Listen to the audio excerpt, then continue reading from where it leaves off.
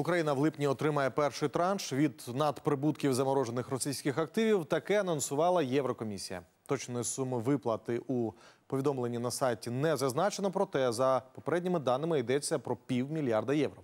Підуть гроші здебільшого на військову допомогу. Це рішення Євросоюзу важко узгоджував кілька місяців, і воно стосується лише відсотків, які російські активи генерують на рахунках у ЄС. Що робити з самим грошовим тілом на 300 мільярдів доларів? Над цим працюють країни Великої Сімки. Завтра у італійському містечку Стрезе зберуться міністри фінансів G7 обговорити наявні варіанти, які саме існують пропозиції, до якої з них схиляється більшість країн, знає Ірина Іванова. Від повної конфіскації до передачі самих лише відсотків. Такі ідеї розглядають держави-учасниці Великої Сімки щодо активів агресора.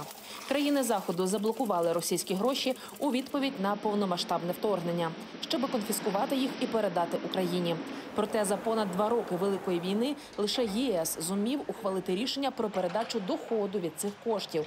І лише того, який накопичуватиметься від лютого цього року. Ми з вами знаємо, що вартість заморожених активів це 260, да, десь так, мільярдів євро. Тобто, при всій нашій вдячності за це рішення сьогоднішнє, але суми не співмірні. Тому третій крок, про який ми говорили з початку року, це власне має бути компенса- е, конфіскація самих активів. Ідею повної конфіскації не підтримали. З усіх держав, що входять до групи семи, лише Сполучені Штати ухвалили закон, який дозволяє вилучити російські активи, акумульовані на їхній території.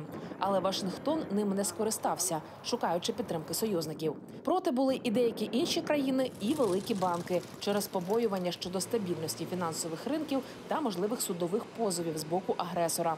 Такої думки дотримується, наприклад, уряд Німеччини. Позиція Німеччини полягає в тому, що ми не будемо робити рішучих дій щодо конфіскації всіх активів, бо ми вважаємо, що це може поставити під загрозу багато інших аспектів. Якщо не повністю забрати, то використати знерухомлені активи як заставу, а гроші позичити Україні. Таке рішення раніше пропонував міністр закордонних справ Великої Британії Девід Кемерон щодо заблокованих коштів у королівстві. Проте ця ідея не здобула прихильності партнерів. Натомість, як пише Guardian, міністри фінансів G7 у найближчі два дні обговорять надання Україні кредиту на 30 мільярдів євро під заставу російських активів. Перед зустрічю лідерів Великої Сімки США та Велика Британія переконують, що замість щорічно спрямовувати відносно невеликі суми, такі як 500 мільйонів євро з відсотків, ліпше було би надати Україні кредит або облігацію на суму близько 30 мільярдів євро. Причому відсотки виплачуватимуться з прибутків, отриманих від заморожених активів у більшому обсязі. Проте і ця ідея має своїх критиків, пише британська газета. Вони занепокоєні, що використання російських активів як застави може трактуватися як володіння ними, а отже, як конфіскація. Альтернативу пропонують Сполучені Штати скористатися прибутками від заморожених активів.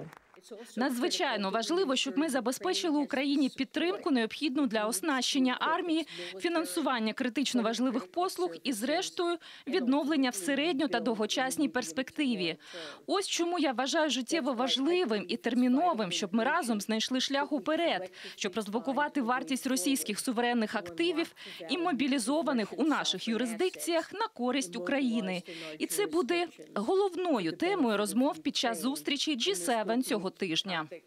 За даними агенції Reuters, Німеччина підтримує ідею США щодо використання доходів від заблокованих російських коштів. Зустріч міністрів фінансів країн Великої Сімки триватиме в Італії два дні. Участь візьме і очільник фінансового відомства України Сергій Марченко. Підтвердили нашому телеканалу в Мінфіні. Партнери обговорюватимуть законність використання заморожених російських активів та шукатимуть консенсус у цьому питанні. Остаточне рішення лідери G7 мають повідомити на саміті наступного місяця. Ірина Іванова, Олег Невідомський. Подробиці Європейське бюро телеканалу Інтер. Марафон. Єдині новини.